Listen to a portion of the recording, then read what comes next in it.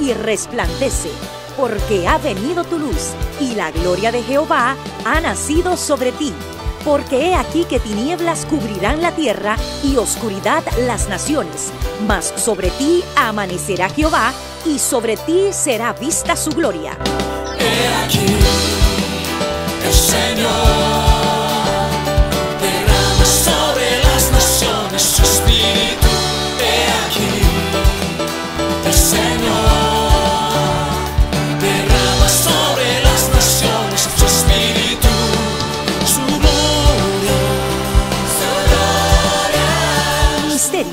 Amanecer de la Esperanza presenta su programa Voz de Restauración con el pastor Juan Radamés Fernández.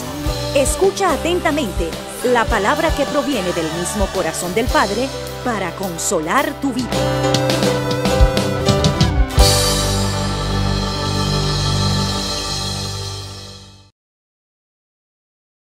Dios es bueno y es misericordioso y guarda verdad para siempre. Por eso le adoramos y le servimos con todo amor, porque su amor ha sido derramado en nuestros corazones. En Él somos y nos movemos y respiramos. En Él amamos, en Él obramos, en Él saludamos. Por eso te saludamos en el nombre del Señor. Y nuestra oración es un deseo, un deseo que pone el Espíritu Santo en nosotros. Y ese deseo es que Dios te bendiga, te a tu casa y que por medio de la palabra Dios pueda abrir el río de su, de su poder y de su gracia y pueda inundar tu ser, pueda edificarte y que esa edificación permanezca para siempre.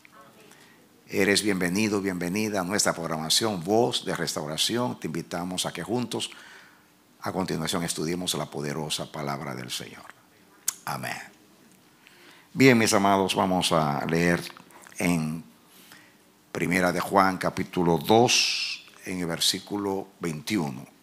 Primera de Juan 2, 21. Voy a leer allá la pantalla. Dice, no os he escrito como si ignoraseis la verdad, sino porque la conocéis, porque ninguna mentira procede de la verdad.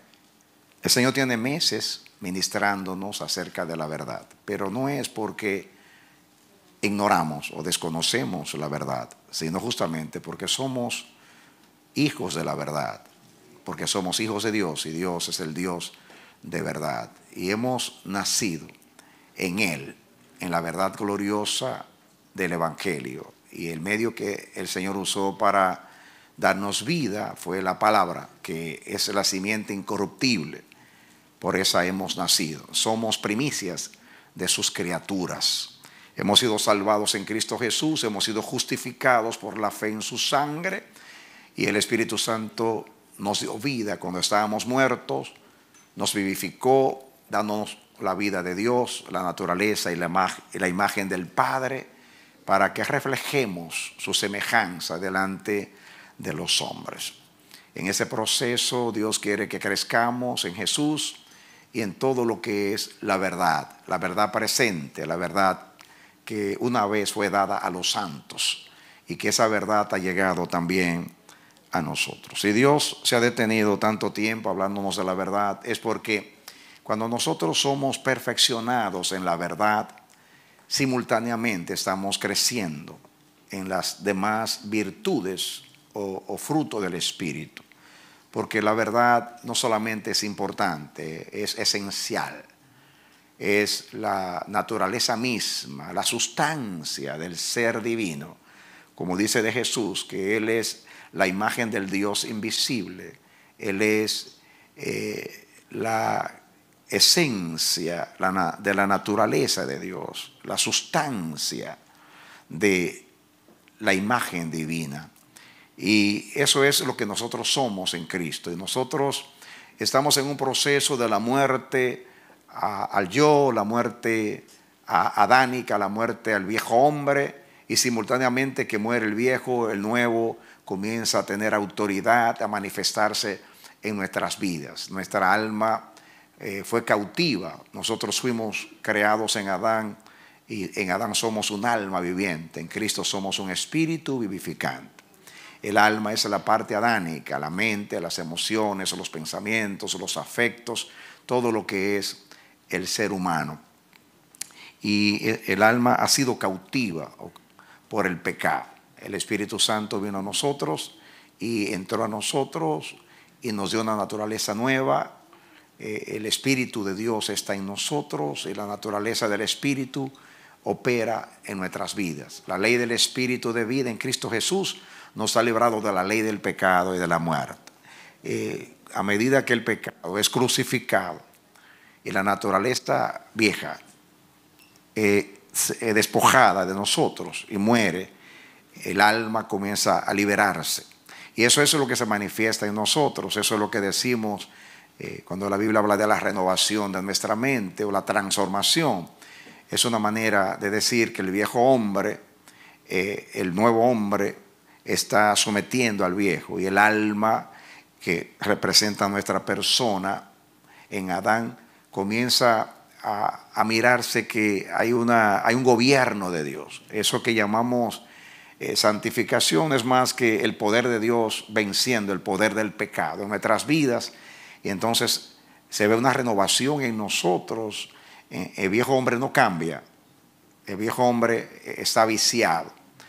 Pero cuando está, cuando está sometido al Espíritu, no se, no, no se manifiesta en nosotros y se manifiesta el Espíritu Santo. Y la gente puede ver al Señor en nosotros. De esa manera se explica la obra que el Señor está haciendo en nosotros. Dios quiere que nos perfeccionemos en todas las cosas. Estamos en este proceso de, de la santificación o el perfeccionamiento, donde todo lo que es las obras infructuosas de las tinieblas son sometidas y eh, el fruto del Espíritu vive y se manifiesta en nosotros. La verdad es fruto del Espíritu, es carácter de Dios. Cuando al principio hablamos del Dios de verdad, hablamos que todo lo que es Dios es verdad. Eh, en Él no hay corrupción, en Él no hay inmoralidad, no hay iniquidad. Eh, en Él solamente hay perfección. Como dice el profeta Habacuc, tú eres demasiado santo para ver el mal. Dios no está relacionado con el mal. El pecado es todo lo contrario, lo que es la naturaleza de Dios. El que ama a Dios, el que entiende la salvación, el que comprende el precio que el Señor tuvo que pagar para redimirnos del pecado. Esa persona va a ser conmovida, va a ser tocada, va a ser motivada por la fuerza del amor del Señor. Y se va a someter al Espíritu para que el Espíritu pueda realizar ese deseo de Dios. El Señor nos salvó de la condenación del pecado. En cuanto a la justicia de Dios, pasamos el examen, porque la salvación Dios se la asignó a Jesús y Jesús la terminó. Cuando dijo consumado es, dijo yo terminé la obra que me diste que hiciese. Y el, y el Padre duró tres días examinando la obra de Jesús, desde que se formó en el vientre de María hasta que entregó el Espíritu. Y al tercer día el Señor, viendo la perfección de Jesús, lo levantó de entre los muertos. Pero como Él lo hizo en el lugar de nosotros, la vida de Cristo es nuestra vida. Y la muerte de Cristo es nuestra muerte. Y la sepultura de Cristo es nuestra sepultura. Y, su resurrección es nuestra resurrección. Así nos ve Dios. Y ese poder que obró en Jesús, levantándolo entre los muertos, es el poder que usa el Espíritu Santo ahora para darnos la vida de Dios. Nosotros hemos concentrado la vida simplemente en la inmortalidad y lo que estamos es pensando solamente en la resurrección del cuerpo. El cuerpo va a resucitar porque es una, es una promesa fiel del Dios que no puede mentir. Amén. Pero es muy importante que entendamos que vida es Dios, vida es Cristo, vida, la vida que hemos recibido es la eterna. Y debiéramos de entender eso, sin menospreciar la vida física que recibiremos, que será semejante al cuerpo de la gloria del Cristo resucitado. Pero lo más importante es la vida eterna, y la vida eterna no es tanto inmortalidad, la vida, la vida, eterna es la misma vida de Dios. la, la que Dios ha vivido desde que Dios es Dios, o sea, eternamente. Esa vida es una vida de justicia, de, de- verdad, de misericordia, de pureza, de amor, de, de todo lo bueno, todo lo noble, todo lo justo. Todo eso es Dios y esa es la vida eterna. Y esto lo hemos repetido muchas veces y lo vamos a seguir repitiendo hasta que usted diga, ahora lo entendí. Porque yo por años eh, simplemente pensaba en vida eterna y eso es lo que se predica, que, que Cristo me va a librar de la muerte, que me, de la muerte física, que voy a resucitar, que voy a vivir para siempre, que voy a vivir en un mundo hermoso, precioso, donde no va a haber pecado, ni enfermedad, ni coronavirus, todo eso. Ah, Y eso es lo que esperamos nada más y hemos limitado la vida de Dios al aspecto natural físico de aquí de la tierra.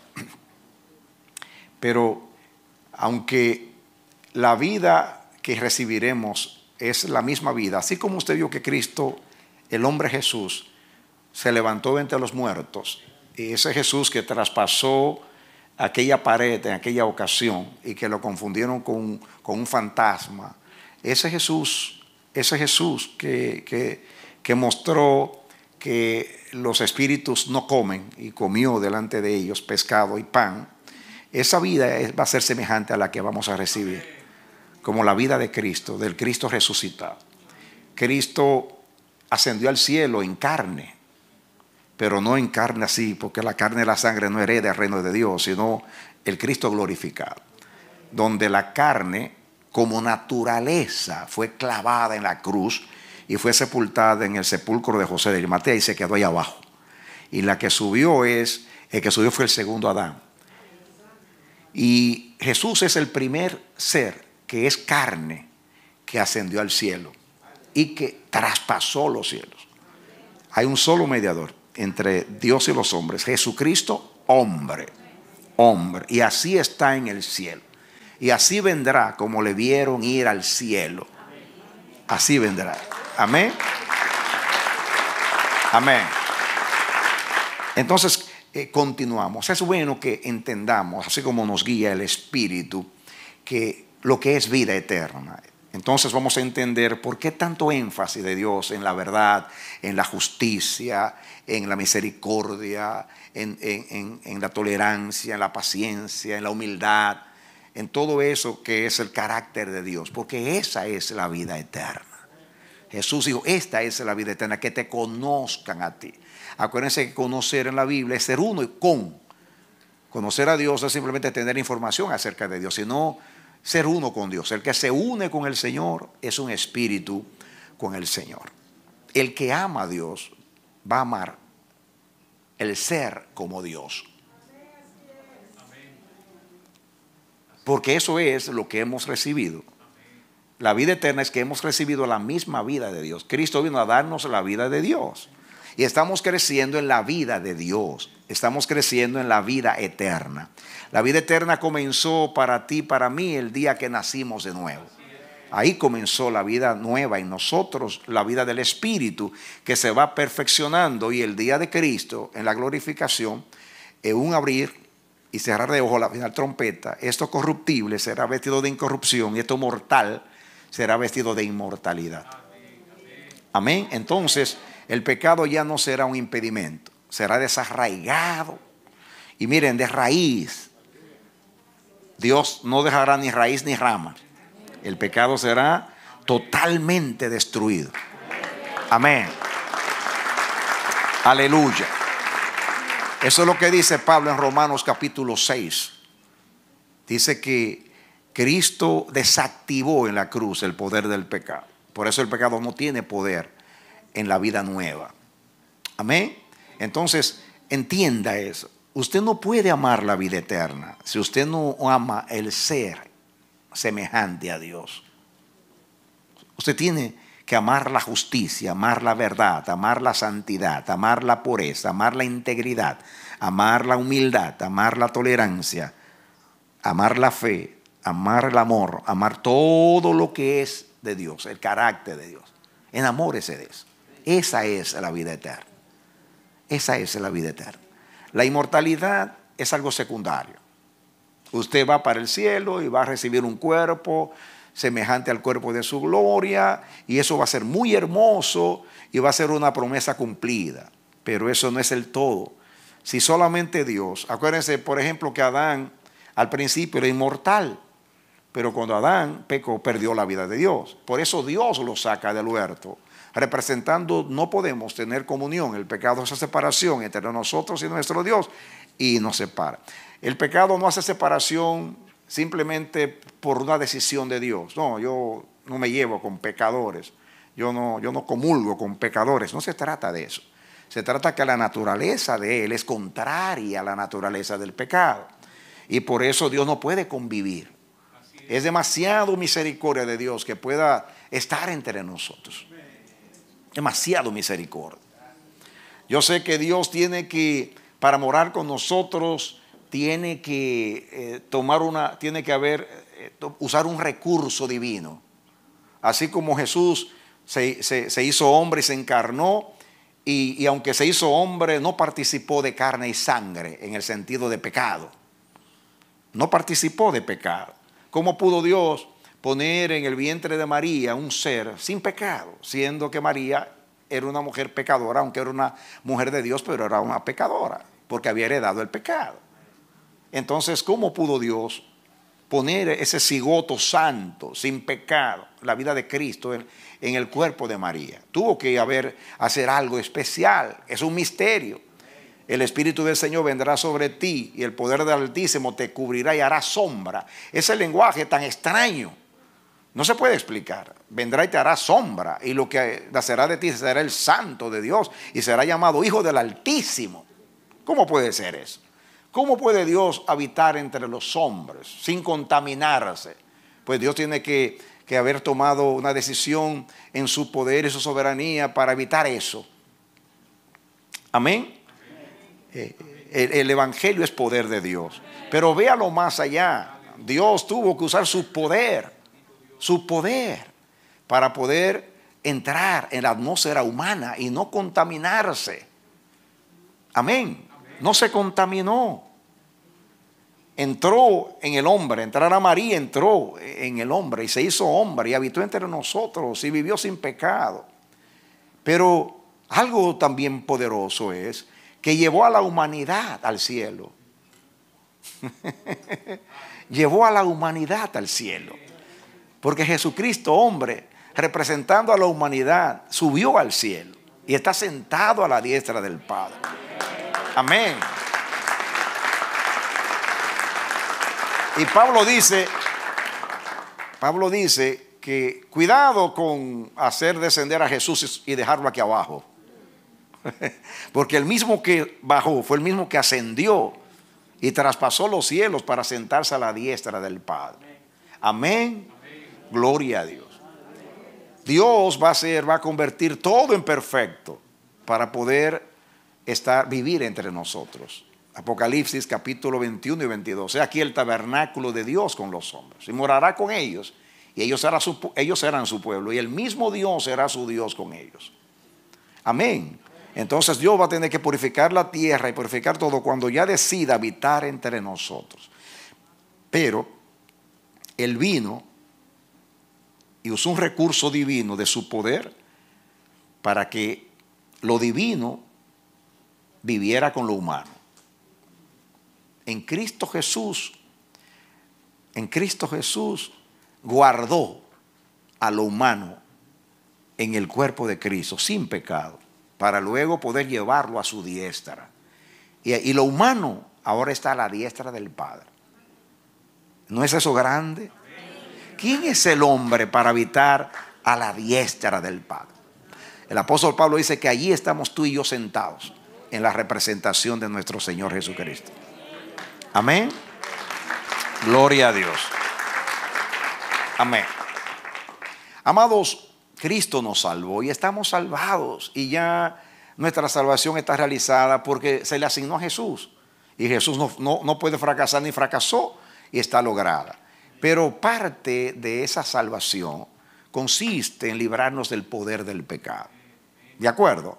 Porque una cosa es la justificación para los fines de la justicia de Dios y Dios da una aceptación Dios me estaba ministrando algo que yo he hablado muchas veces, pero que me hizo profundizarme y hablé en el discipulado a los ancianos nuevos, a los ministros. Estamos en un discipulado y, y, y me vino este pensamiento que lo he dicho muchas veces.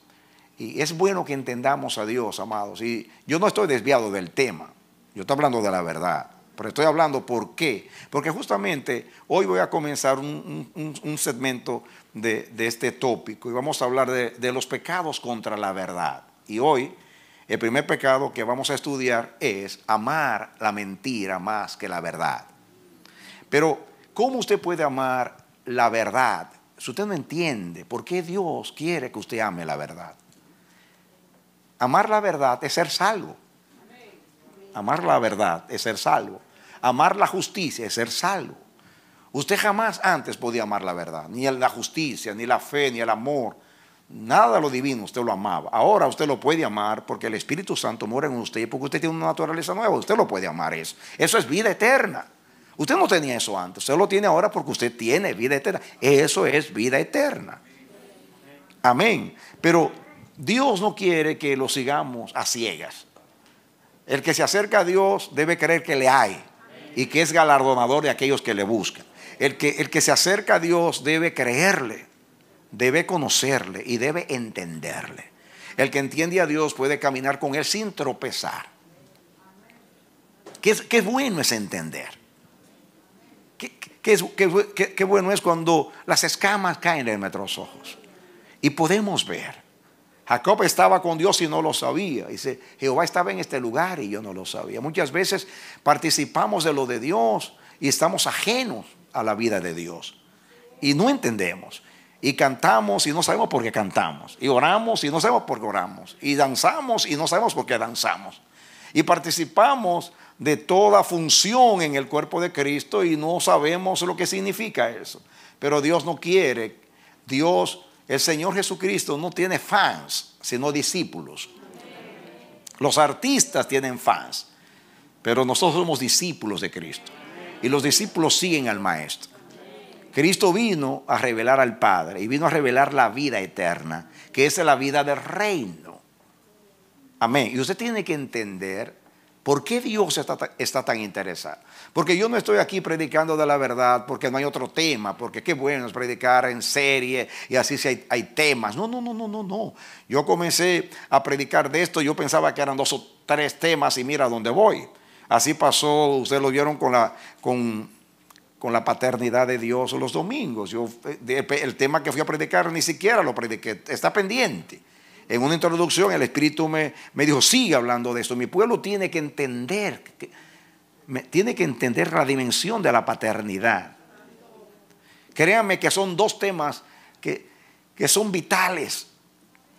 Y Dios quiere abrir nuestros ojos. No es para que estemos como los griegos, que solamente se complacían en escuchar algo nuevo. Cuánta palabra, qué linda palabra.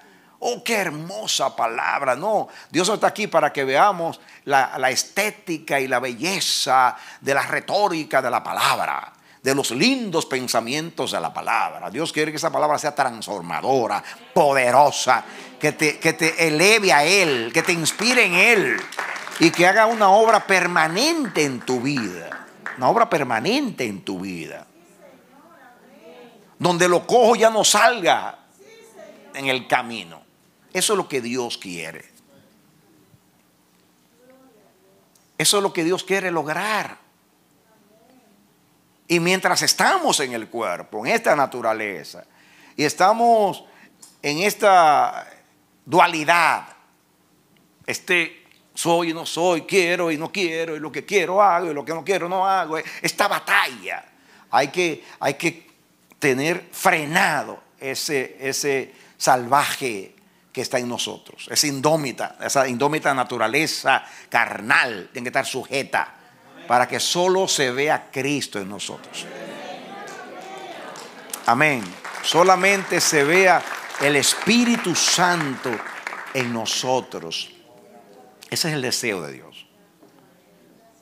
Es muy importante eso.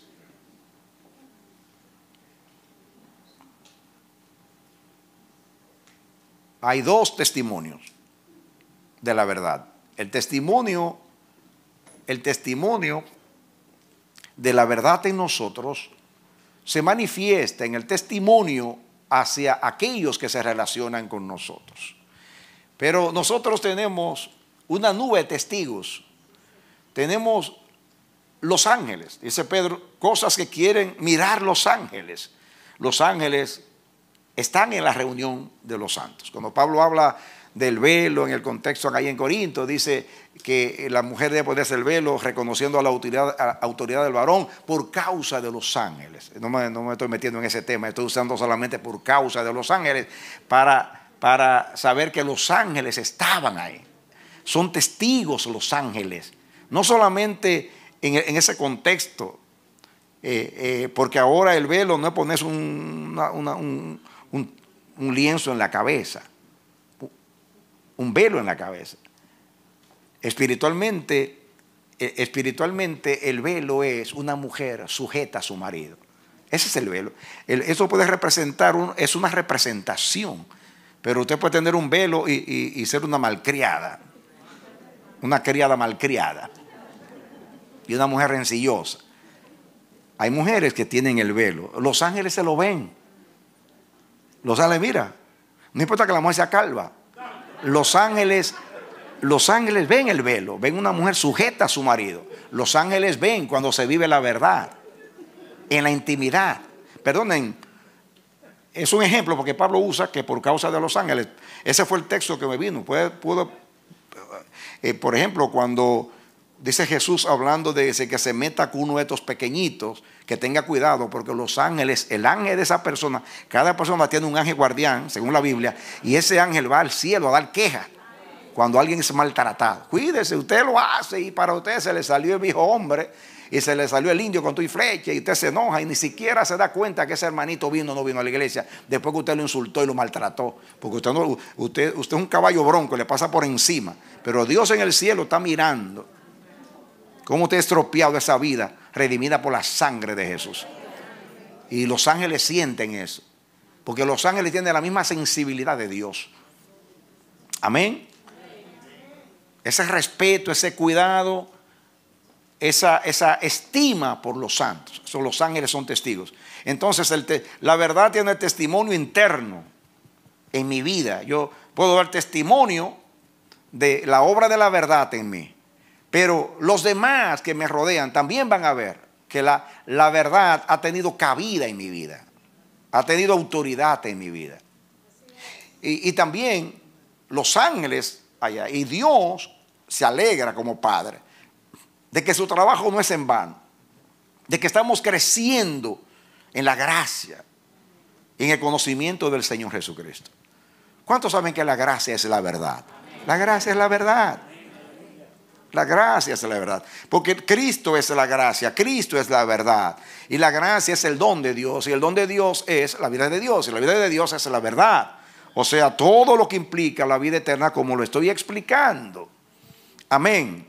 Usted no puede amar la vida eterna simplemente porque usted, usted no se quiere morir, le tiene miedo a la muerte y teme no existir y cuando yo me vaya yo no voy a saber lo que pasa en este mundo y yo quiero saber qué es lo que está pasando acá cuando yo no esté acá, pero qué bueno que cuando Cristo venga yo voy a saber lo que pasa aquí, nunca me voy a morir, no me voy a enfermar, gloria a Dios y eso es cosa de niños, honestamente. Porque si la vida eterna es no morirse, pobre, eso no es vida eterna. Vida eterna es tener la vida de Dios. Vamos a suponer que Dios le dice, ok, te voy a dar vida eterna, te voy a convertir en un caballo eternamente. Tú eres un caballo, o un perro, un chivito, toda la vida. ¿Te conformarías tú con ser un chivo, un perro que viva para siempre? Entonces, eso es ser, eso es ser un animal eterno, pero sin tener la vida de Dios. Lo que es vida eterna es ser como Dios. Ahí está la gracia, ahí está la grandeza. Amén. Amén. Amén. Mirad cuán amor nos ha dado el Padre, que seamos llamados hijos de Dios. Hijos de Dios es hijos de la verdad. ¿O no? ¿O no? Dios no es un Dios de muertos, sino de vivos. Y Jesús lo dijo ah, como testimonio de la resurrección o evidencia de la resurrección. Y cuando habló de que en el cielo no, no nos vamos a casar, dice, serán como los ángeles, y dice, serán hijos de la resurrección. En ese contexto Jesús también dijo lo mismo, que, que son hijos de Dios, hijos de la resurrección. Dice, porque, porque no van a morir, son hijos de la resurrección.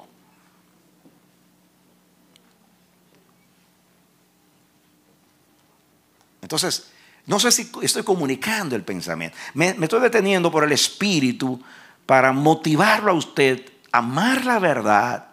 No para tener información de Dios ni para recrearse en pensamientos bonitos y retóricos, sino usted tiene que decir que, que mi vida tiene que ser semejante a la de Cristo. Eso que Dios logró en Cristo para mí, yo lo quiero para mí. Mi belleza es parecerme a mi Padre. Esa es mi honra. Parecerme a mi Padre. Ese es mi éxito. Ese es mi logro. Eso es lo plausible en mí. Parecerme a mi Padre. Nadie puede llamarse hijo de Dios si no vive como Dios. Nadie puede decir tengo vida eterna si no se parece a Dios. Imagínate que, que Dios a Adán le hubiera dado vida para siempre. ¿Hubiera, ¿Hubiera tenido vida eterna Adán? Porque vivió para siempre. Eso no es vida eterna, vivir para siempre en pecado. Eso no es vida eterna. El diablo posiblemente no se va a morir. ¿O usted cree que el diablo va a morir? El diablo va a estar en el infierno eternamente. Con sus ángeles eternamente. Eso lo dice la Biblia. La Biblia no dice que Dios lo va a, talar y se va a morir para. No, va, eh, para, el infierno es para el diablo y sus ángeles. Dice que eternamente estarán sin Dios. Bueno, que es el infierno estar sin Dios, aislados. Eso es terrible. Pero va a vivir. Entonces, tiene vida eterna el diablo porque no se va a morir en el infierno. Y los demonios y la gente que se pierde si eternamente va a estar ahí. No, eso no es vida eterna. Eso es inmortalidad. Vida eterna es tener la vida de Dios. Amor, gozo, paz, paciencia, benignidad, bondad, santidad, pureza, integridad, lo noble, lo justo, lo verdadero. Ah, todo eso elevado, lo sublime de hacerle un aplauso al Señor. Eso es vida eterna. Yo la quiero, yo la anhelo, yo la necesito. El temor de Dios nos hace aborrecer el mal y amar el bien.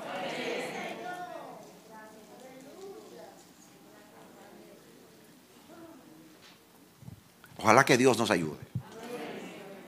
Pidámosle a Dios eso. Si después de terminar estos temas van a pasar a la historia, van a estar ahí en el internet, a ver si alguien lo ve un día y lo baja.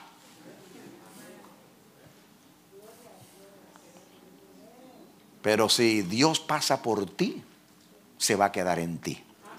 Si, si, si, el efecto de esta palabra por el Espíritu pasa por ti, te va a transformar para siempre.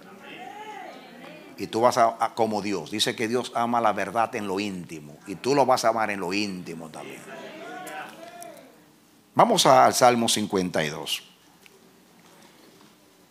Salmo 52. Este salmo en esta iglesia lo hemos cantado. Eh, la última parte, como olivo verde en la casa de Dios. Pero dice aquí, ¿por qué te jactas de maldad, oh poderoso? La misericordia de Dios es continua. Agravios maquina tu lengua, como navaja afilada hace engaño.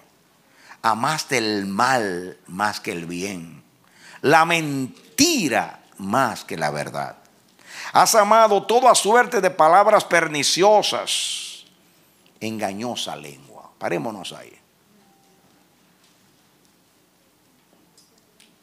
¿Por qué te jactas de maldad, oh poderoso?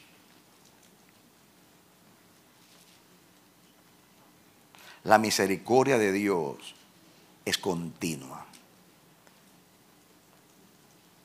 Agravios maquina tu lengua como navaja afilada hace engaño. Amaste el mal más que el bien. La mentira más que la verdad. ¿Saben ustedes que a mí me intriga mucho eh, el contexto? Porque miren lo que, mire en qué se inspiró David para es- escribir este salmo. Al músico principal, masquil de David, cuando vino Doed, Edomita, y dio cuenta a Saúl diciéndole, David ha venido a la casa de Ahimelech. ¿Recuerdan ustedes cuando David corría de Saúl, que se refugió donde Ahimelech, el sumo sacerdote, y le pidió pan, y él le dio pan de la proposición, proposición el pan santo, el pan de la presencia. Y entonces, después, eh, para no tener que leer el contexto, después Saúl, en uno de sus arrebatos, se hizo la víctima diciendo que todos estaban contra él, aún el propio hijo mío ha hecho alianza con mi enemigo, o sea, con David, y apeló allí y dijo, y dijo, ¿dónde está David? Como ayúdenme a encontrar a David, aquellos que como que me aman. Entonces, este, este hombre, Doé, que era, estaba en el, en el- en el templo cuando vio a David entrar y, oyó el diálogo y cómo se le dio pan.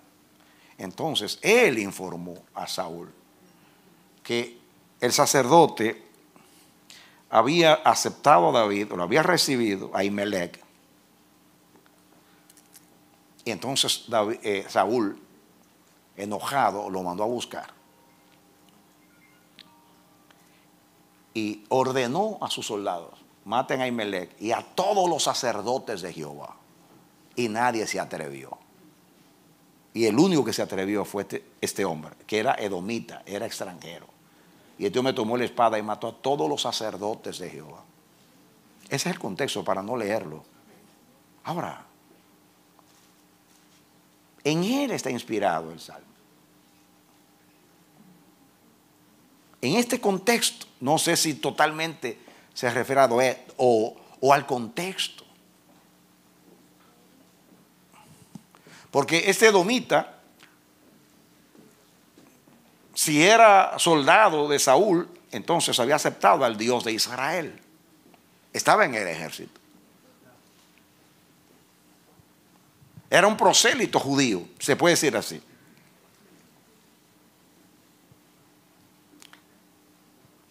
¿Sabe lo que atreverse a participar del espíritu de Saúl y tomar una espada y matar a los, a los ungidos de Jehová? No sé si David se refería a él totalmente o inspirado en esa conducta expuso este salmo tan poderoso.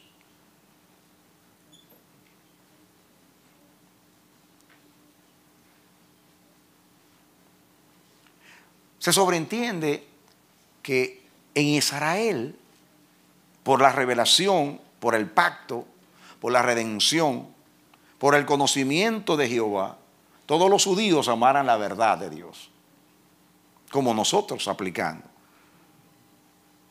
Eso fue, esa fue la introducción larga que Dios nos dio hoy. se sobreentiende que tenemos una relación con la verdad y es que hemos nacido de la verdad para la verdad. Para vivir la verdad, para representar la verdad, para dar testimonio de la verdad.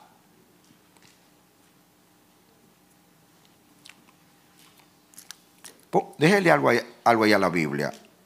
Y voy a, leer un texto que yo leí una vez con ustedes, pero que ahora viene al caso, en Zacarías.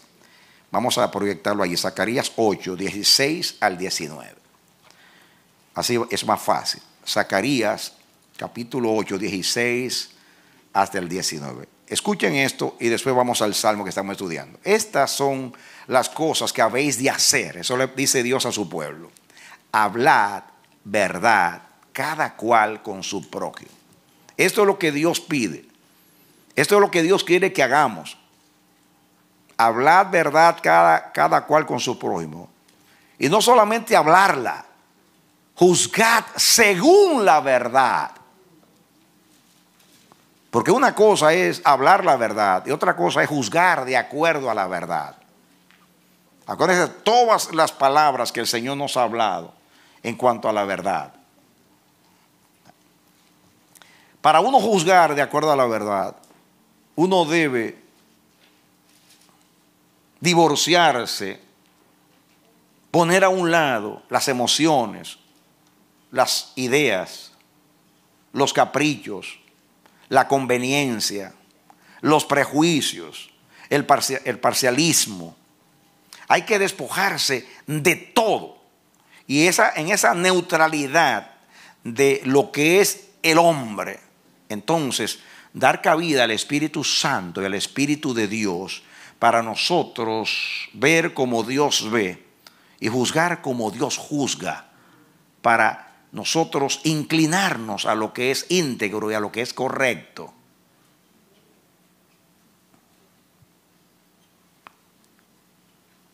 Usted tiene que haber madurado demasiado para tener esa parcialidad, esa neutralidad. No es fácil, no es fácil uno despojarse de un criterio, de una idea, una manera de pensar. Nosotros somos el producto de, el aprendizaje de la cultura, del ambiente, de las, de, las, de las experiencias personales, de las circunstancias, de lo que hemos vivido. Somos el resultado de eso.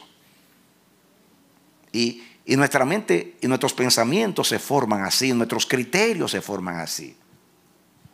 Además de nuestro individualismo, nuestra manera de procesar el aprendizaje y todas las experiencias que vivimos desde, desde que somos niños. Y eso es lo que nos, nos, nos da una individualidad y nos hace y nos da un yo. Es así soy yo. Entonces, la verdad es ajena al yo. Y usted tiene, usted tiene, para poder hablar verdad y juzgar la verdad, usted tiene, usted tiene que amarla. Y más adelante, yo, yo no estoy desviado, yo quiero llegar a un pensamiento por el espíritu. Por eso me fui a este texto primero para que usted pueda entender qué es amar la verdad. Hablar verdad y juzgar de acuerdo a la verdad.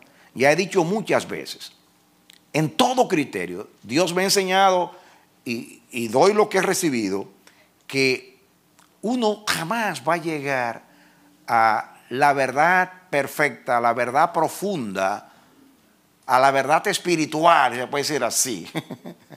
o sea, más allá de esta dimensión,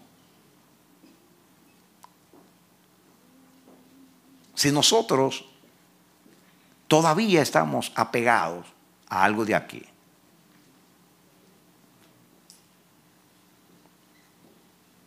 comenzamos, así como en toda área se comienza con cosas pequeñas. En lo académico nosotros somos procesados. Comenzamos a aprender a leer y a escribir primeramente. Y nos enseñan las letras del alfabeto. Y después lo que es una sílaba. Y después lo que son las palabras. Y después lo que son las frases. Y después lo que son las oraciones. Y después lo que son las partes de las oraciones. El sujeto, el verbo, el pronombre, la conjunción, la preposición. No es así. Igualmente en matemáticas. Le enseñan los números del, del 0 al, al 9. Y después le siguen enseñando los números y los niños se aprenden los números hasta el 100 y después forman los demás números. Y después se le enseña a sumar, a restar, a multiplicar, a dividir. Después algo más profundo. ¿O no es así? Así se va, en un proceso, ¿no? En un proceso. De, de, lo, de, lo, de lo pequeño a lo grande. De lo elemental a lo más profundo. Así, así hay que crecer en la verdad. Entonces, me he dado cuenta, y eso es lo que Dios me ha revelado, que si nosotros no comenzamos a ser fieles en las cosas pequeñas y a despojarnos de nuestra manera de pensar, de esa programación que hay en nosotros, es imposible. Lo único que nos puede ayudar es amar la verdad. Y ya más adelante vamos a hablar todo lo que implica eso. Pero yo, en vez de comenzar con amar la verdad, quiero que usted vea cuál es la demanda. Y ahí vamos a ver todos si amamos la verdad. Porque si usted, hablar verdad, cuando usted habla verdad, es porque su corazón está lleno de verdad. Porque la Biblia dice que de la abundancia del corazón habla la boca. Si, si, no hay verdad en el corazón, porque eso hay un, te- un texto que le dice habla- eh, de Isaías, creo que fue 59, que hablar verdad en el corazón. La verdad comienza en el corazón. Y después usted la habla con la boca. Y después que la verdad se apoderó de usted, entonces usted puede juzgar según la verdad. En- ¿Entienden lo que es ju- juzgar? No solamente juzgar a una persona o juzgar una situación. Pablo decía, cuando yo era niño, yo hablaba como niño, pensaba como niño, juzgaba como niño. Ya juzgar, es la aplicación del conocimiento. Juzgar, es la aplicación del conocimiento. Es mi manera de pensar. Yo digo, esto es así, porque estoy convencido. Esto no es así. Esto lo rechazo, esto lo acepto. Esto es verdad, esto es mentira. Esto no es conforme a la verdad. Esto no es justo, esto es justo. Esto es de Dios, esto no es de Dios. Eso es juzgar. Es discernir. Es determinar algo.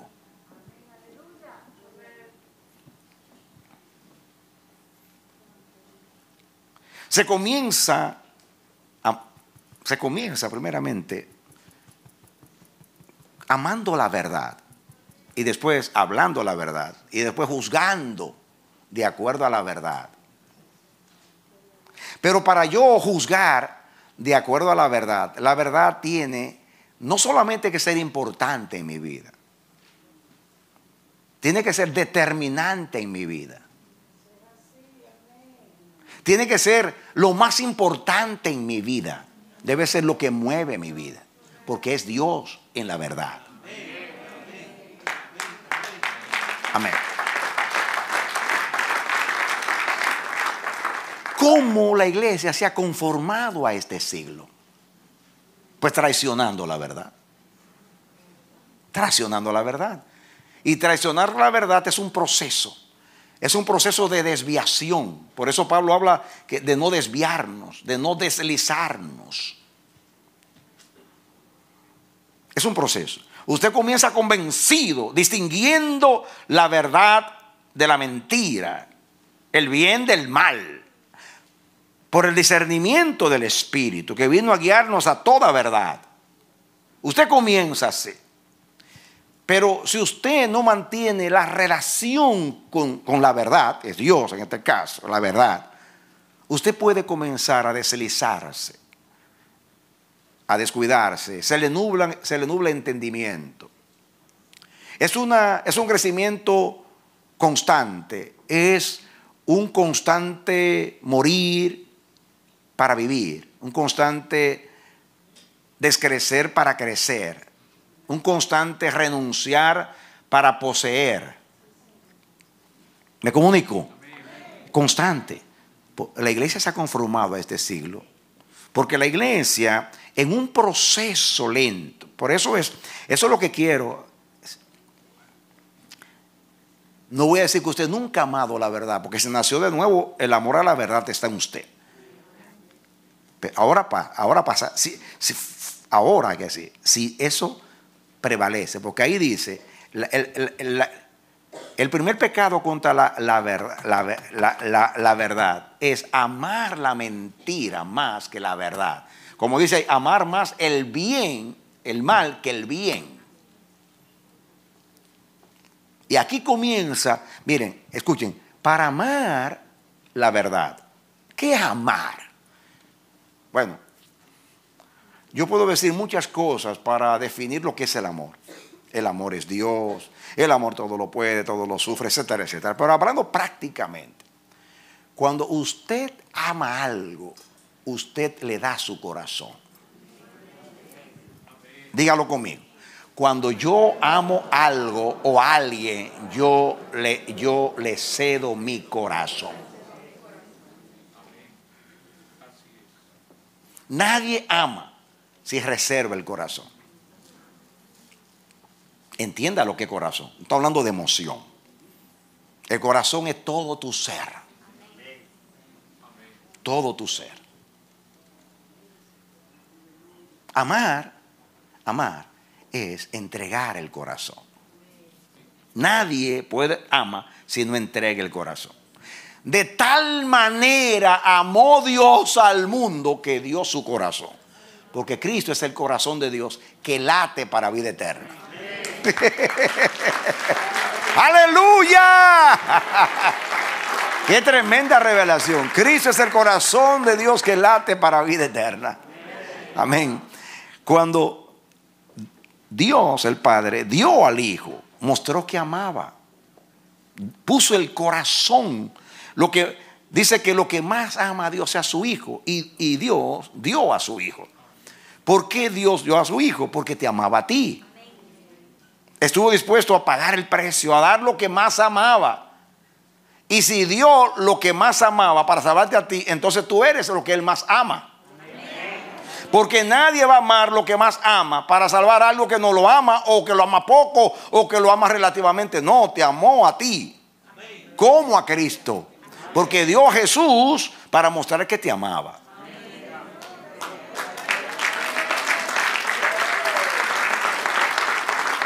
Entonces, aplica eso. Aplica eso. Todos hemos pecado contra la verdad y hemos cometido ese pecado de amar más la mentira que la verdad. Acuérdense que mentira no es solamente decir lo que, lo que es falso. No, no, no. Acuérdense que verdad no es solamente decir lo que es verdadero. La verdad es Dios. La verdad es todo lo que es conforme a Dios. Mentira es todo lo que no es conforme a Dios. Si yo veo a una persona necesitada y yo no la ayudo, ya yo soy un mentiroso. ¿Por qué? Porque a rehusar, a no manifestar misericordia hacia esa persona, ya yo no estoy actuando como Dios y ya es mentira. Esto, mira un ejemplo que parece loco, no es loco. La Biblia habla de vivir conforme a la verdad. Conforme a la verdad en amor, en gozo, en paz, en paciencia, en benignidad. Cuando usted vive en tristeza, usted no vive de acuerdo a la verdad, porque la verdad no es tristeza. Cuando usted vive en depresión, usted no vive de acuerdo a la verdad, porque la verdad no es depresión. Cuando usted vive en temor, ese no es el espíritu que usted recibió. La verdad no teme. ¿Por qué la verdad no teme? Porque la verdad prevalece, porque la verdad es suprema, porque la verdad está por encima de todas las cosas y porque nada amenaza la verdad, porque la verdad es Dios y Dios no puede ser vencido de lo malo.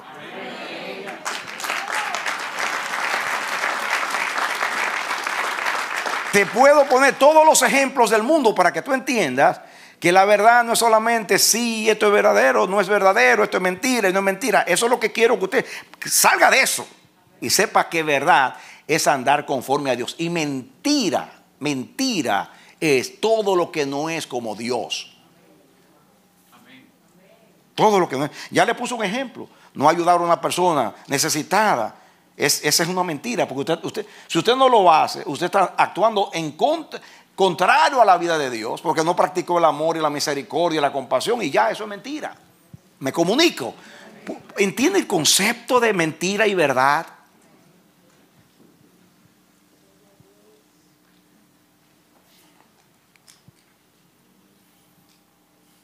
Escuchen este pensamiento completo. Estas son las cosas que habéis de hacer. Hablad verdad cada cual con su prójimo. Juzgad según la verdad y lo conducente a la paz en vuestras puertas. Según la verdad. Y dice, y ninguno de vosotros piense mal en su corazón contra su prójimo. Parece ahí. Eh, eh. Cuando usted piensa mal de una persona, eso es mentira. Eso es mentira. Eso es mentira. Porque usted está juzgando mal. Usted está pensando mal de una persona. Está sospechando de una persona. Le está atribuyendo a esa persona cualquier cosa. Eso no está en conformidad con la verdad. Dios no actúa de esa manera. Ninguno de vosotros piense mal en su corazón contra su prójimo. Ni améis el juramento falso que es tan común, que no solamente es delante de un juez.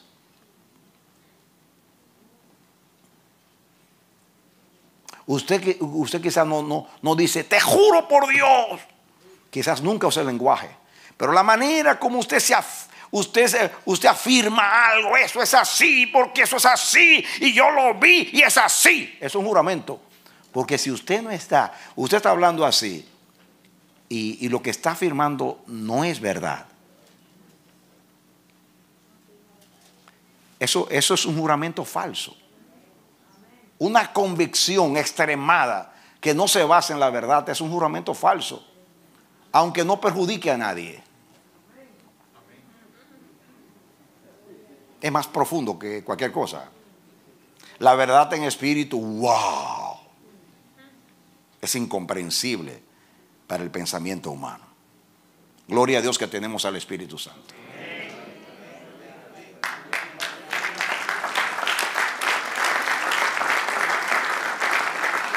Y ninguno de vosotros piense mal en su corazón contra su prójimo, ni améis el juramento falso, porque todas estas cosas, dice, porque todas estas son cosas que aborrezco, dice Jehová. ¿Qué Dios aborrece? Todas las cosas, no hablar verdad, juzgar, no juzgar eh, de conforme a la verdad, pensar mal en los corazones de los hermanos. Y todo lo que dice ahí que hemos leído. Dios aborrece eso. Es más que rechazarlo, lo aborrece. Ahora sigamos. Vino mi palabra de Jehová de los ejércitos diciendo. Así ha dicho Jehová de los ejércitos, el ayuno del cuarto mes, el ayuno del quinto, el ayuno del séptimo, el ayuno del décimo, se convertirán para la casa de Judá en gozo y alegría y en, festivas solemnidades. Y termina diciendo, amad pues la verdad y la paz. Por eso llegué allí. Porque el primer pecado es, no es no amar la verdad, sino amarla más que la mentira.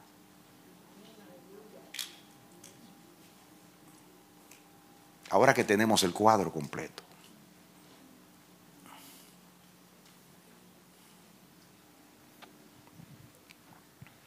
Comienzo o continúo con amar. Cuando uno ama, uno entrega el corazón. Y después que usted entregue el corazón, usted, usted pacta con esa persona. Y pactar no necesariamente es como el matrimonio que usted firma. No tiene que firmar. El amor es leal. El amor se compromete. Y estoy pensando en este momento en Dios. Dios no tiene que jurar, pero Él jura cuando se trata de la verdad. Dios no tiene que hacer un pacto. No tiene que hacer un pacto. Usted hace un pacto entre los humanos por temor o para comprometer a las dos partes y para que ninguna de las dos partes falle en el compromiso. Pero como Dios no falla, él no tiene, que, él no tiene ni que jurar ni que pactar, pero hace las dos cosas para enseñarnos a nosotros que el que ama, ama del corazón.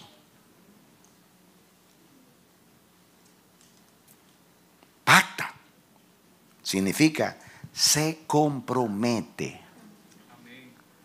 Y cuando se compromete, no vuelve atrás. Y hace un juramento para asegurar a la otra parte estoy comprometido contigo. Así hace el que ama. Ahora apliquemos eso a la verdad. Cuando, cuando usted ama, usted no traiciona. Jamás se traiciona a una persona que se ama. Digo, si la ama de verdad. Si usted la traiciona, ya no la ama. Ya dejó de amarla porque la traicionó. Dios no puede traicionar porque Dios es amor. Y el amor no traiciona.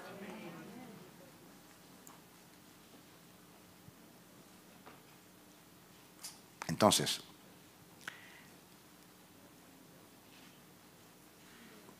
para amar la verdad, tenemos que entregar el corazón a la verdad.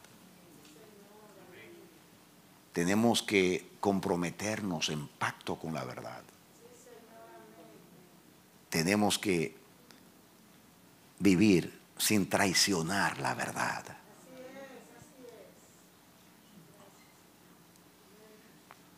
Cuando traicionamos la verdad, dejamos de ser lo que somos.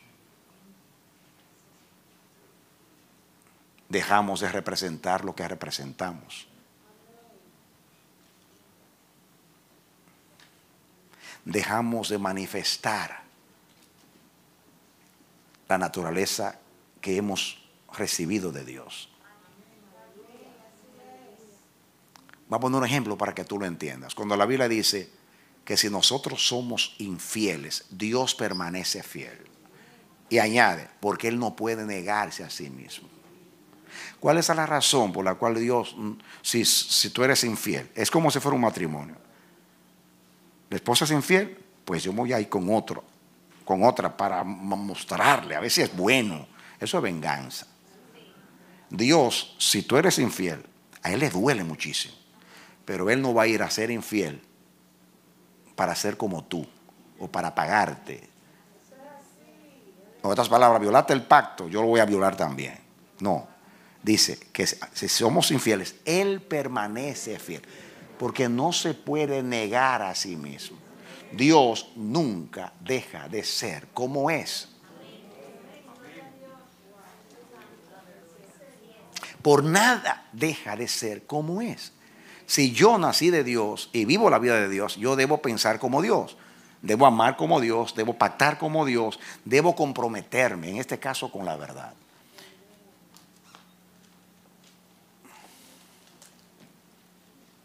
Cuando José fue tentado, porque aunque la Biblia no dice que le atraía a la mujer, no lo dice, pero era joven, seguro una mujer bonita,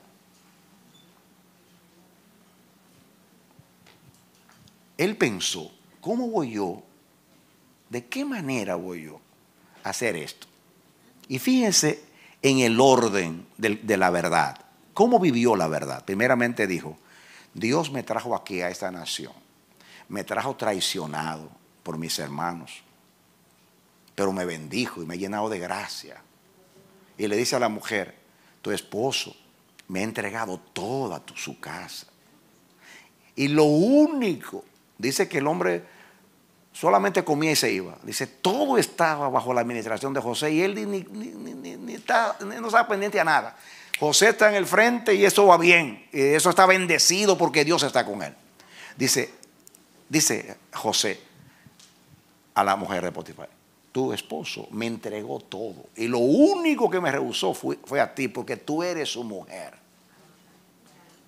¿Cómo voy yo a pecar contra mi Dios, que me trajo a Egipto con un propósito para yo representarlo y que el único hebreo soy yo acá. En otras palabras, todos tienen muchos dioses y yo tengo uno. Yo soy embajador de ese Dios, del Dios de los hebreos, de Dios de Abraham, de Isaac y de Jacob. Que bien podía decir, que Dios ni Dios y me traicionaron y mi familia no me quiso y mira cómo estoy yo acá. No, no, no, no, no, no. Ese no perdió la brújula ni perdió el norte. Ese sabía ese sabía quién era. Él, porque amaba a Dios, amaba la verdad, amaba la verdad. Miren, amados, si en el momento de la tentación, cualquiera que sea tu debilidad, tú piensas más en Dios que en satisfacer ese deseo impulsivo, caprichoso y carnal, tú vas a vencer.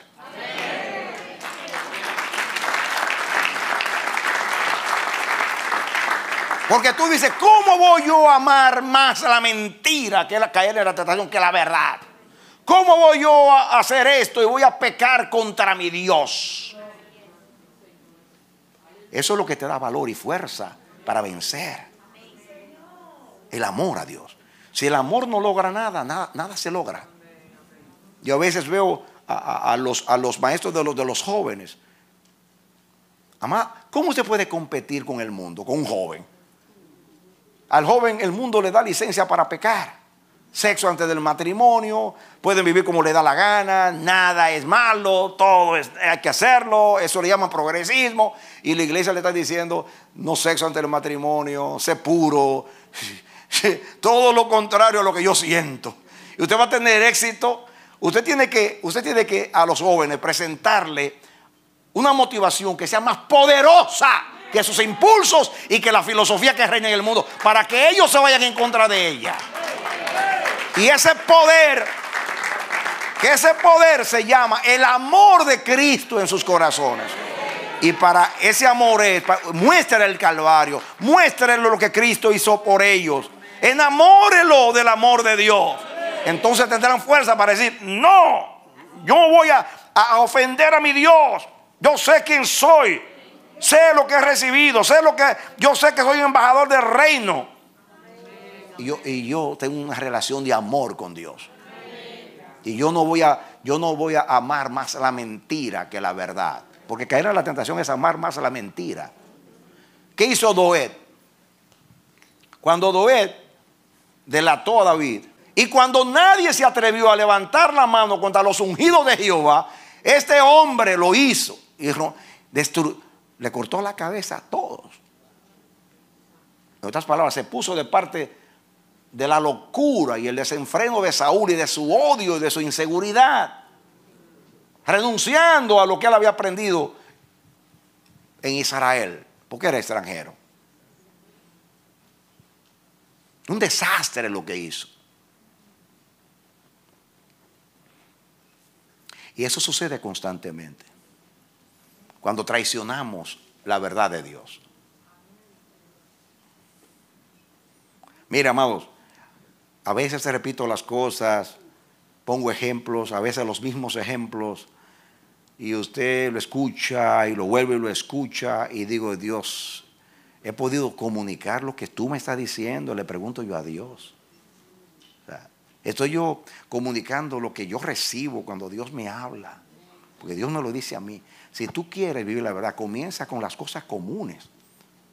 Por eso me ven en la política que yo no transijo. Yo no le doy corazón ni a un partido ni a ningún político, porque todos son mentirosos. Y los logros de los políticos es engañar. Y la gente, todos saben que los políticos lo están engañando y aún siguen defendiéndolo. Y lo defienden de una manera que yo digo, si defendieran a Cristo, como defienden a los políticos. Es increíble. ¿Cómo usted puede dar su convicción en una cosa que usted sabe que es engañosa? Simplemente porque tengo simpatía. Eso pasa con los equipos de, deporte. Usted se enamora de un equipo porque usted, si usted es de, Nueva York y quiere los Yankees o los Mets, o si es en República Dominicana, si es del Cibao, yo soy de las Águilas, o soy del escogido de la capital, y usted ya lo criaron así, usted se, se, usted se llena de eso. Usted no sabe lo que hizo mi papá para que yo fuera de los leones del escogido. Y yo era un niño como de tres o cuatro años. Y él tenía una, una tienda o bodega como la pulpería, como le quieran llamar.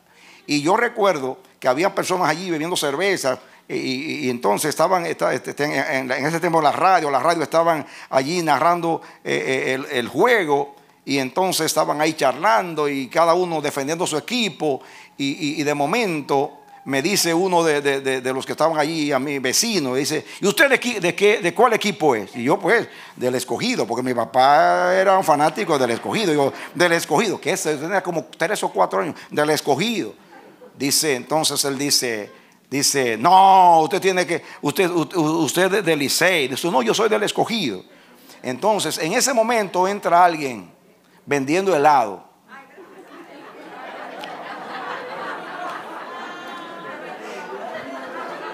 Y el hombre, el vecino, me dice, dice, dice, dice, dice el vecino lo siguiente. Dice mi papá, mi papá compra para él. Entonces, el vecino me dice a mí, el vecino era mecánico y a él, cuando estaba regando los autos, él los manejaba. A la gente le llevaba el carro, el auto, y él entonces, mientras lo arreglaba, daba vuelta y montaba en el carro. Y yo, para mí era muy grande que, ese hombre andaba en un carro. Y entonces eh, él me dice, si tú Si tú cambias ese partido y tú te vas al Licey, yo te monto en el carro. Uh, y yo dije, sí, sí, sí, sí, sí, me cambio, me cambio. Y mi papá me mira y dice, que usted se cambia. Yo, sí, sí, sí, sí. Él me va a llevar al carro, me cambio. Entonces ahí es que entra el vendedor de helado. Te hago a los niños con los helados. Y mi papá hace lo siguiente. Compra un helado para él. Y comienza a comerse. Y yo le digo a mi papá, papi, cómprame uno. Dice, no, no, no, esto es para los que son del escogido.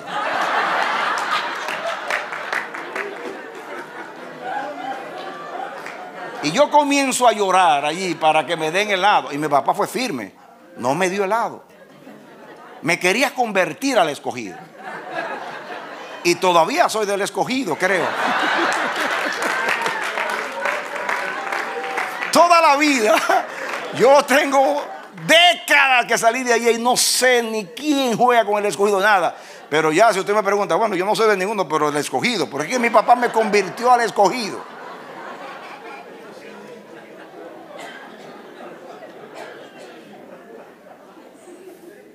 Así pasa en todos los lugares, con el fútbol, con los mes. Entonces, uno llega a ser fanático de un equipo. Y uno no, no transige, uno, ve el equipo, puede ser que sean todos malos, pero uno lo ve a todos buenos. No se le puede hablar a uno en contra, eso es fanatismo. A todo eso digamos, soy fanático de un equipo. Así pasa con la política. Usted se convierte en un partido. Yo soy demócrata, siempre soy demócrata. O soy republicano, siempre soy republicano. O soy de PRD, o soy de tal partido, y ahí estamos. Y no importa lo que hagan los sinvergüenzas que nos dirigen. Por ahí nosotros vamos. Y defendemos. Y pues, nos, llenamos de, Nos volvemos coléricos defendiendo. Y, y, nos engañan y seguimos repitiendo las mismas mentiras. Y eso es una cosa que es humana, es social, es nacional, es deportiva aparentemente. Pero así es que tú vas cambiando tu corazón hacia el engaño. Pero si tú comienzas a decir, no, no, en toda mi manera de vivir, yo viviré con la verdad. Y nunca daré mi corazón a algo hasta que yo no compruebe que es verdadero. Porque yo soy de la verdad.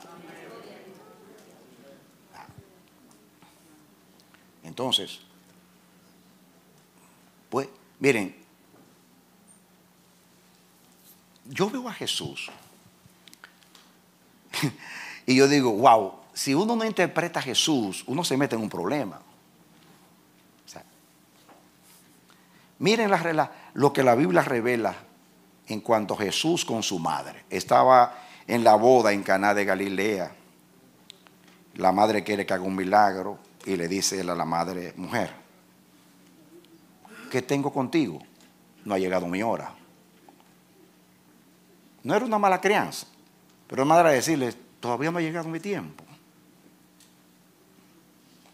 La primera vez, cuando se perdió en el templo, que fue María la que se perdió y José, porque Jesús, aunque era niño, estaba en el templo y ellos estaban envueltos en la fiesta y el que está en el templo no está perdido. Ellos estaban perdidos. Y cuando lo encuentran, hijo, ¿qué me hiciste? Tu padre y yo te hemos buscado. Dice, ¿no sabíais que en los negocios de mi padre me conviene estar? Es una respuesta tajante. Ella no entendió lo que él decía. Después a la boda de Cana, mujer, no me presiones, no ha llegado mi hora. Después le dicen, maestro, maestro, tu madre y tus hermanos te buscan. No, mi, mi, madre y mis hermanos son los que hacen la voluntad de Dios. Una señora se excitó por un milagro y dijo, bendito el vientre que te trajo al mundo y los pechos que mamaste. No, bendito es aquel que hace la voluntad de mi Padre. O sea, toda la relación con María, Jesús, Jesús, es como si no me, en otras palabras, no me vinculen tanto con Jesús hombre. Jesús el del vínculo de, de sangre. Yo soy del cielo. Mi reino no es de aquí. Mi familia es espiritual. Naturalmente, yo estoy seguro que María era seguidora de Cristo. Y era una sierva de Dios. Y también era, era madre y era hermana porque hacía la voluntad de Dios. Pero eh, eh, Jesús nos quiso enseñar. Nos quiso enseñar que Él no estaba aferrado a un vínculo natural. nosotros nos cegamos. El hijo nuestro pues es un sinvergüenza y lo ponemos, ay, mi hijo, mi hijo, mi hijo, o mi madre, mi hermano, mi esposo. Y idealizamos a la gente porque, porque le tenemos respeto o porque eh, estamos, estamos agradecidos o porque es mi familia, es mi amigo, me ayudó en tal tiempo. Y muchas veces cuando tenemos que juzgar algo que tiene que ver con esa persona, ¿qué hacemos nosotros? Nos inclinamos. ¿Saben lo que Dios le dijo a los jueces en Israel? Que no aceptaran regalos. Está hablando de cohecho. Pero yo lo aplico a todo. Por eso he dicho a veces, hermano, si usted me da un regalo y me honra, yo lo recibo. Pero el día que yo tenga que disciplinarlo, yo lo voy a disciplinar. En otras palabras, usted con un regalo no va a comprar. Porque yo como siervo de Dios tengo que juzgar justo juicio y justamente. Yo por gratitud no voy a vender la verdad. Tengo, digo, si, si el Espíritu Santo está conmigo, porque soy un hombre y puede ser que me ciegue. Pero mientras el Espíritu esté conmigo y piense como estoy pensando en este momento, pues, y Dios me libre, yo voy a decir, no, no, no, no, yo te quiero mucho y todo, pero tú fallaste y te tengo que aplicar lo que te tengo que aplicar. Amén. Ahora, eso pasa igual con usted. Si a usted lo disciplina, usted tiene que, de la misma manera, voy a poner algo mucho más difícil. Mucho más difícil. A ti te ponen una multa y tú te enojas con el policía, sabiendo que tú pasaste la luz roja. Pero como te duele pagar 150 dólares, yo no sé cuánto es, que hace tiempo no me ponen uno. Usted se enoja, usted se enoja. Usted se enoja. Y enoja y, resiste. Usted, usted, usted sabe que usted falló. Y usted ahí en ese momento, créame, usted está en contra. Usted está, usted está amando más la mentira que la verdad. Porque usted se está enojando con la autoridad. Usted violó la ley. Usted, usted actuó en la mentira y ahora está pagando la consecuencia y él está aplicando la verdad, que es la multa, y usted se resiste. Un ejemplo tonto, pero revela. Igualmente pasa en cualquier cosa. A usted lo, reprenden porque usted hizo algo malo, o en la iglesia lo disciplinan por algo, o, un anciano que sea lo siente, si me obraste mal, te portaste así, y usted se enoja con él. Eso es, Usted sabe que lo que están diciendo es verdad, pero usted, por, em, sus emociones, por su orgullo, por lo que sea, usted en ese momento no le, da, no le da espacio a la corrección. Y la corrección tiene que ver con la verdad, si el justo es juicio, el, juicio es justo o no. No sé, todos esos ejemplos, mm, mm, estoy comunicando, estoy tratando de ilustrar lo que es amar la verdad y lo que es aprender a crecer en el amor a la verdad. Usted tiene que comenzar con las cosas comunes de la vida, las cosas naturales. Es lo que Jesús dice. Si administrando las cosas naturales somos infieles, ¿se nos va a encomendar las espirituales? Si administrando las cosas de este mundo somos infieles, se nos va a encomendar lo eterno a nosotros. Cuando la Biblia habla de los ministros, dice, si usted anhela obispado, ministerio, buena obra desea, pero es necesario, gobierne bien su casa, mantenga a sus hijos en sujeción, no sea un neófito, que, que, sea, que sea decoroso, que sea decente, que no sea dado al vicio. Dios no le va a entregar su casa a cualquiera.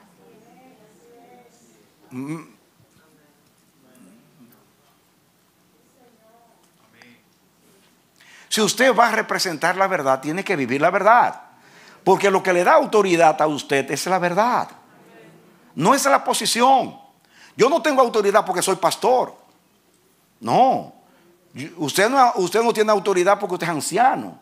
Ni porque usted es diácono, ni porque usted es líder. No, no, no. Eso no es lo que te da autoridad. Un hermanito cualquiera y que no es nada, nada, solamente un miembro de iglesia. Si vive la verdad, posiblemente tiene más, más autoridad que usted. Porque la autoridad no está en la posición, está en la verdad. En otras palabras, cuánto yo he asimilado la verdad, cuánto la verdad ha tenido cabida en mi vida, cuánto yo he aprendido de la verdad y he crecido en la verdad. Eso es lo que me da a mi autoridad.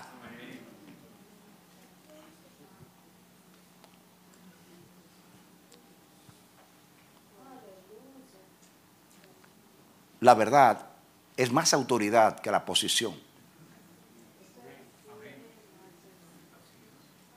Vivir la verdad.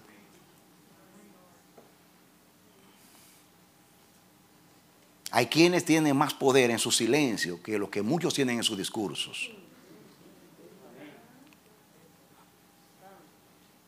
Porque la vida tuya, la manera que tú te sometes a Dios, la manera que tú has crecido en Dios, eso es lo que da testimonio de ti. Eso es lo que da testimonio de ti.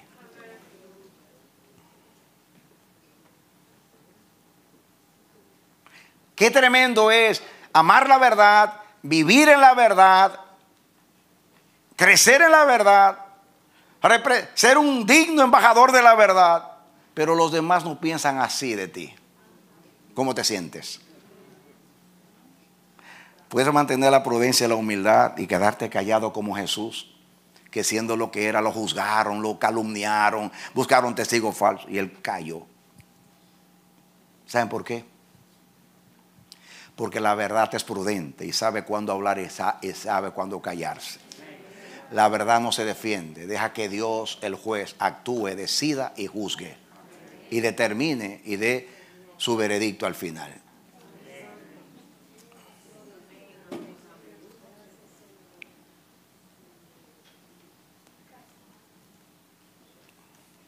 Es profundo. El primer pecado contra la verdad es amar más la mentira que la verdad. Como, como este hombre, como dice ahí, más el bien, el mal que el bien. Amar el engaño más que lo que es correcto. Cuán difícil es. Wow. Yo que por pastor tengo un, un gran sentido de, de compasión. Me tengo que cuidar. Porque muchas veces me pasa que por no lastimar a una persona confrontándolo con la verdad, tengo una lucha tremenda para ir a decírselo. Y, y tiene Dios que ministrarme, porque es que, es que lo voy a aturdir, lo voy a matar, lo voy a, lo voy eh, muy emocional y va a durar tiempo deprimido y se va a desanimar. Ay, Señor, ¿y qué hago? Este- es terrible eso. Pero Dios me dice, si tú lo amas, hazlo. Es mejor que él pase por, o ella o él, por un tiempo de depresión por causa de la reprensión y no que siga en el engaño con una vida torcida. Porque no hay bendición ni provecho más grande que el que da la, el que da la verdad.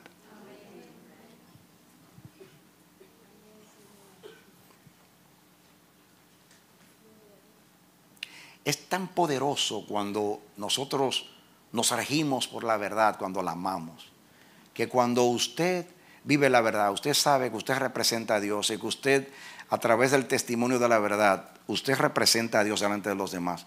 Pero llega un momento, como pasó con Jesús, que todo el mundo pensaba mal de él. Y ahí viene la crisis. Yo me he dado por la verdad. Le he vivido hasta lo último. He pagado un precio tan elevado por la verdad. Pero todos piensan mal de mí. Y usted se deprime. Pero Dios allá arriba como Padre te dice, si lo hiciste para mí, tienes mi aprobación. Y aunque todos te vean mal, yo te veo bien porque hiciste lo que tú tenías que hacer y me representaste de acuerdo a lo que te di, que es la verdad.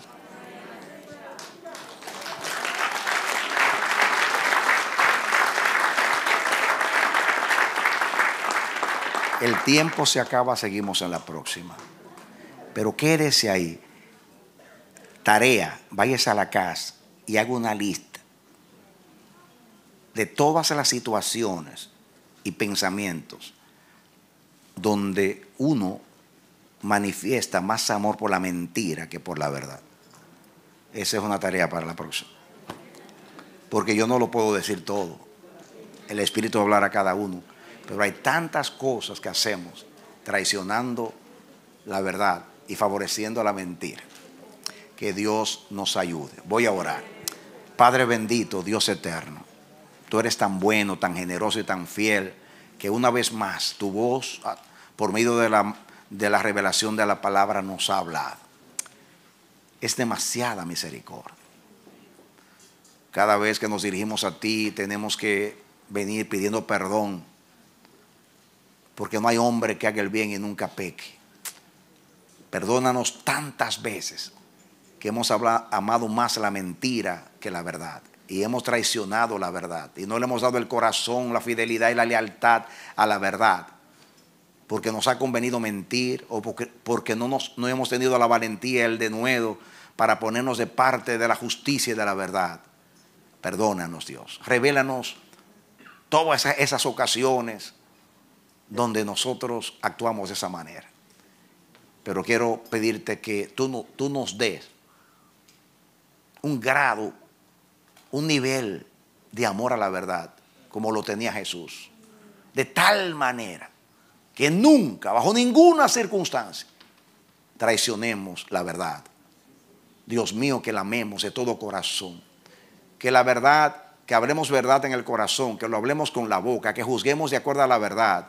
Que nunca levantemos un falso testimonio, que nunca andemos en mentira, ni en engaño, ni en nada que no te represente. Por favor, ayúdanos. Gracias por hablarnos. Llévanos en paz a nuestros hogares con tu bendición. Hermano, hermana, pido al Señor Dios eterno que obre de tal manera en tu vida, que el Espíritu Santo actúe con, con la potencia, con la potencia de la obra de Cristo en ti, de tal manera que la verdad no solamente sea verdad en tu boca, sino en tu corazón, en toda tu manera de vivir. Y que tú ames la verdad como Dios hasta lo íntimo y que nunca tú ames más la mentira que la verdad. Que Dios te bendiga y te dé la victoria en Cristo Jesús. Aleluya. Amén, amén y amén.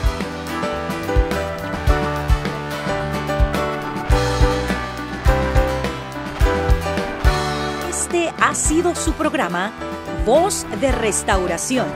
Si desea comunicarse con nosotros, escríbanos al PO Box 70, Bronx, New York 10473 o visita nuestra página web www.elamanecer.org. Nos despedimos hasta la próxima. Que Dios te bendiga.